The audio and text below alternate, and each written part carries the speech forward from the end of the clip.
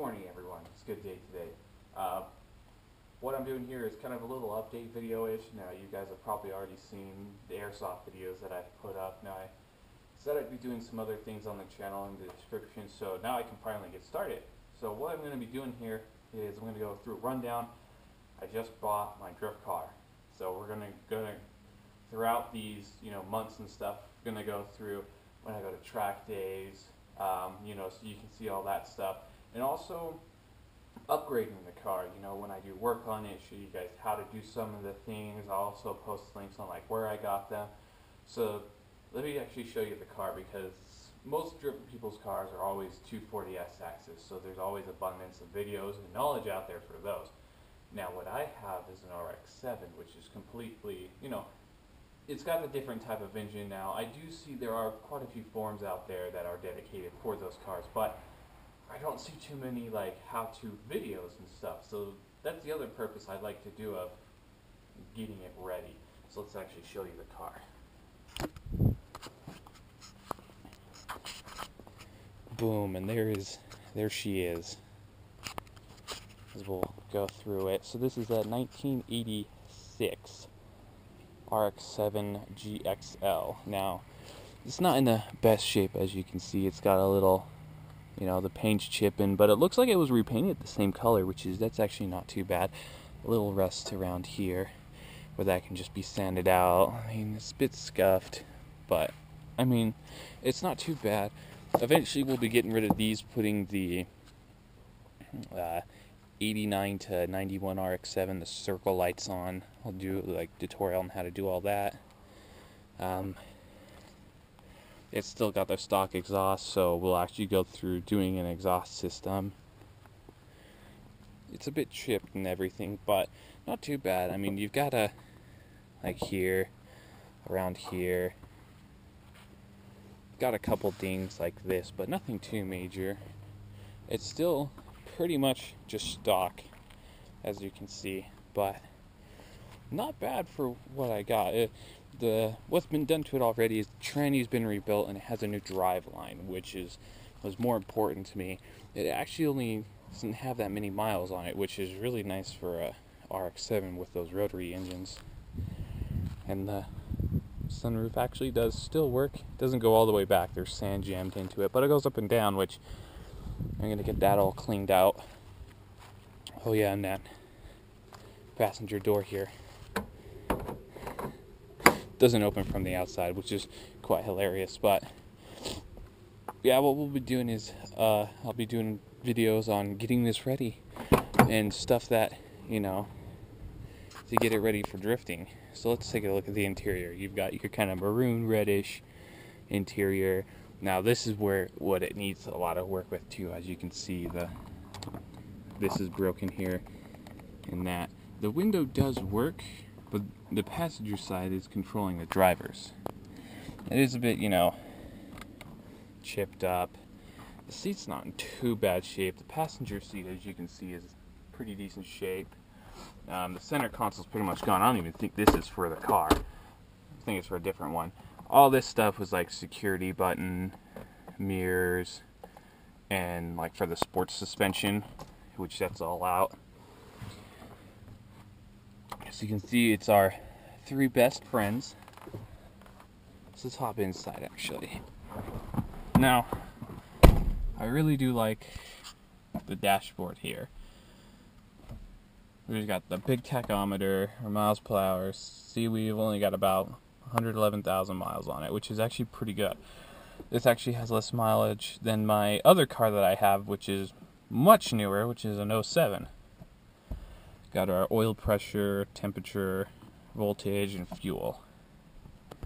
Now, our aircon system, this is kind of kind of works. The com- air compressor doesn't have a belt on it, so that's I don't care any about that. We, you know, GPS, but all of the idiot lights, I was actually surprised that actually still came with the original owner's manual, which is quite fantastic. But, you know, as you can see, the dashboard's all cracked. Not super bad. I mean, these are not in bad shape. I, that's pretty much gone. I've got another one of those. Again, same deal. So this seat's in a better condition. Now, as you can see back here, it was the kind of nice bonus that it came with. Is it came with a pretty good sound system. Uh, the 212s. It does have speakers all the way around, but the, the those kickers pretty much just overwhelm anything. And I love these.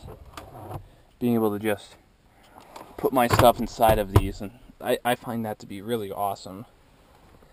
And this is the old radio, which this will get pulled out and a new one pulled in because it's so basic and it doesn't. All it lets me do is treble and bass. That's the only things I can do with it. But not too bad. But let's take a look underneath the hood.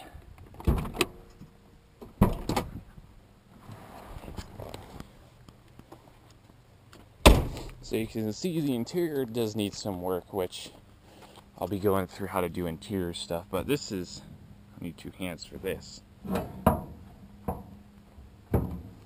The main part here.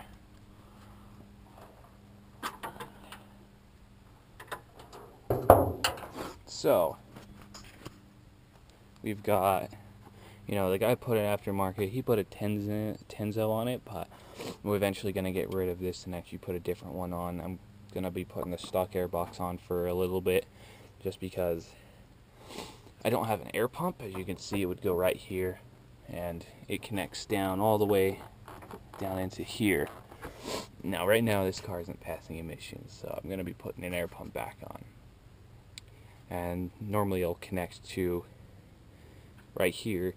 Well, if it was the air box, it'd connect to the air box and there'd be a little plug or a nipple that you would plug in a silicone hose to that would go down into the air pump, but that's not there.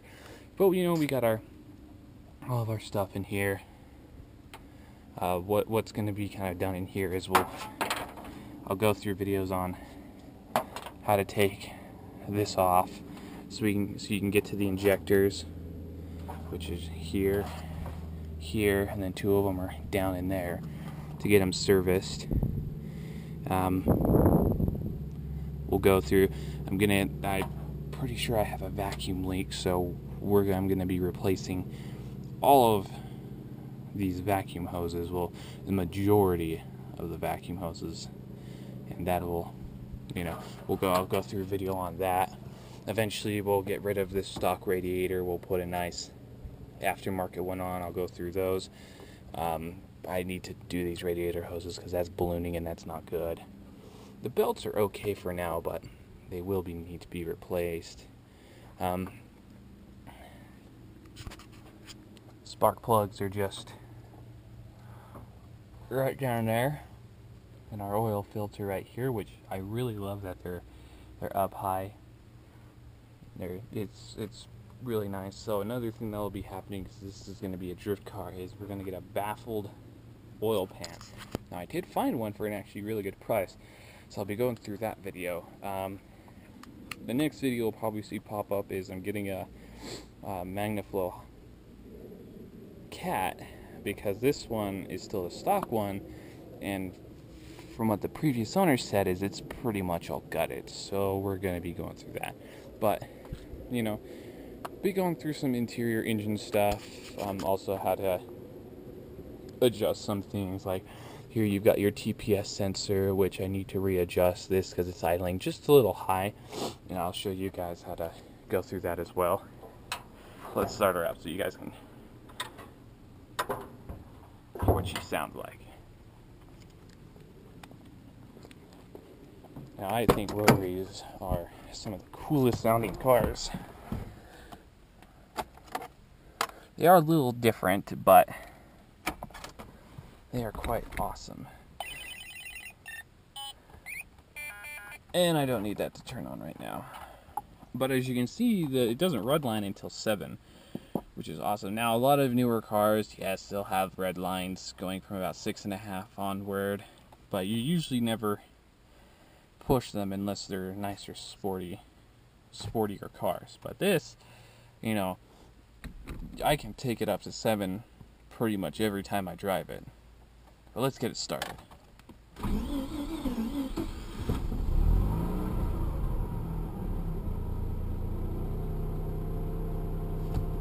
idles pretty decent.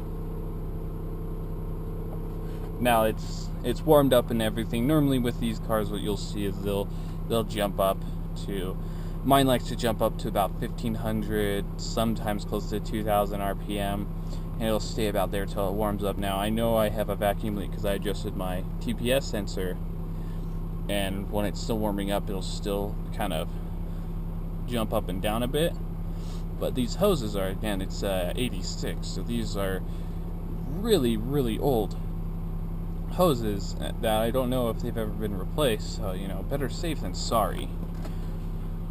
We've got good oil pressure.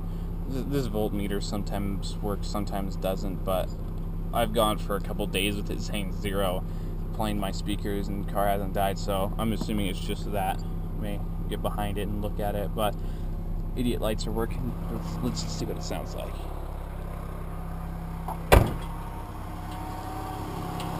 So, it's it is a pretty simplistic engine uh, when you really look at it. The injection system, you know, the air top manifold or whatever, and then just literally right underneath is your rotor housing, and it's pretty much it. Like there's not all the other stuff that you see in piston engines. So quite really really interesting wise. So as you can see down there, the air pump that's not even, or sorry, that's not the air pump, that's the aircon compressor. That's not even, uh, doesn't even have anything in it. And this is for the, the speaker system. So this is already put in before, otherwise I do a video and all that. I mean, you can see it goes around, it goes inside, and then it just goes around the side of the car until it goes to the back. But one thing I do not like about having this huge speaker here, I'll show you guys. Look at that room. There's like nothing. I mean, I've got my coolant, which I need to actually mix. Um, these cars just take a little bit more maintenance than your normal cars. You gotta always make sure the oil stays good. It doesn't take your, you know, you want to make sure. It actually recommends a lot different mixture ratios. Just a little toolkit here. My wiper fluid there. As you can see, here's the nice Alpine power and the spare. I don't have the bolts for those. But the spare still is good in our rear reservoir.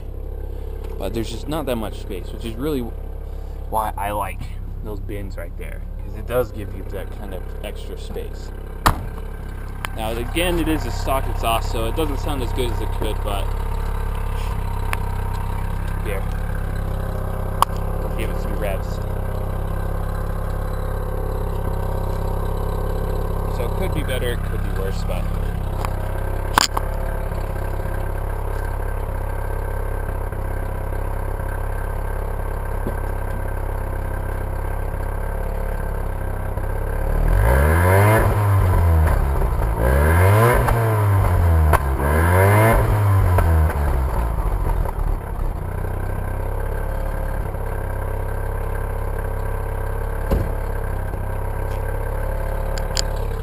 too bad for the stock exhaust. It puff and everything, and it is running rich right now, so I've got to get all that down. But this will become the drift car.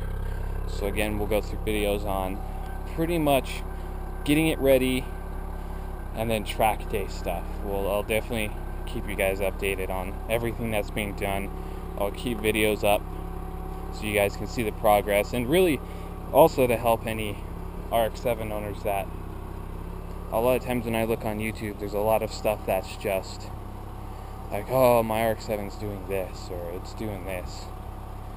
So I want to try and help anyone out. You know, if if it helps them out, if they didn't know how to do it and they watch it and they learn, you know, that's really cool. But until next time, you guys,